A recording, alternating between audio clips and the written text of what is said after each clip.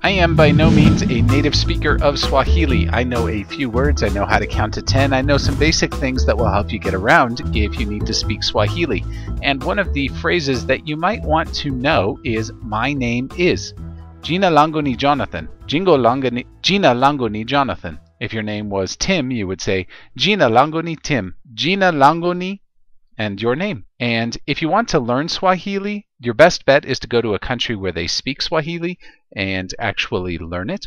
But this is a good basic place for you to start if you wanted to know just a little bit of Swahili. Jina langu Gina Jina langu ni Jeff. Jina langu ni Tim.